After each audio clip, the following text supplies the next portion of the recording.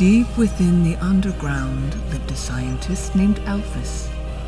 Night and day, she worked tirelessly within her laboratory with the goal of creating a soul. Because with a soul, the monsters of the underground would have a way to break the barrier and once again roam the land the humans had taken from them. The mighty King Asgore, learning of her deeds, anointed Alphys the royal scientist of all the underground. One day, in Asgore's garden, she found a surprisingly special flower. It grew faster and larger than all the rest.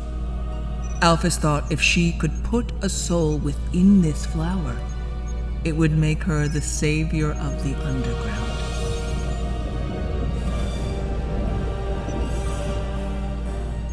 She toiled away in her lab, trying every permutation and combination, as each experiment became more and more dangerous.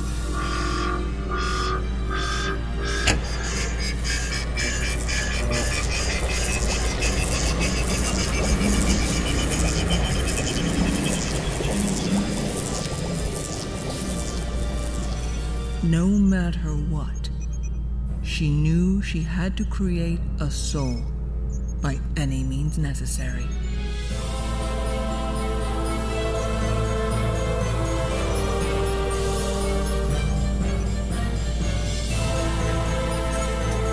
Failure after failure, Alphys grew frustrated and sad.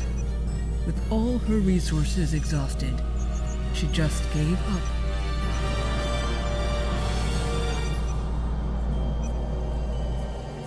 But perhaps she gave up too soon.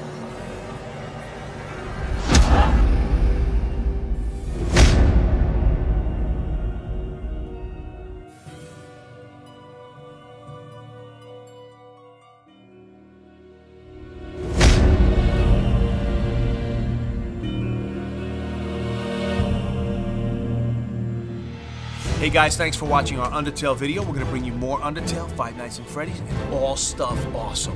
That's right, and to find out when our next video premieres, make sure you click the notification bell and you know exactly when it comes out. And everybody knows what's happening with YouTube right now, so we are starting a Patreon. We have a lot of great tiers on there that we know you'll love, so make sure to hit up that Patreon. Check us out on Facebook, Instagram, and Twitter, and make sure you smash that subscribe button, baby. Smash it, baby. Smash! Smash it. And Snapchat.